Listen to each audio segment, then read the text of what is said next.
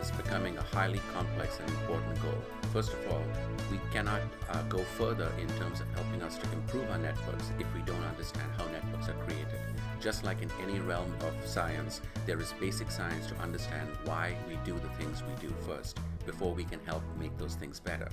And so, in the goal of understanding networks, our main mission is to see networks as they happen in a variety of different contexts and to see what we can learn about the motivations that individuals might have to create network links, to maintain these network links, and to dissolve these network links. There is a large amount of social science research that has implicitly talked about how we build networks, but it's only recently that we are now beginning to focus on how we can take the body of social science research that has looked at individuals and looked at relationships and applied it more systematically to understanding the specific formation of networks in different contexts.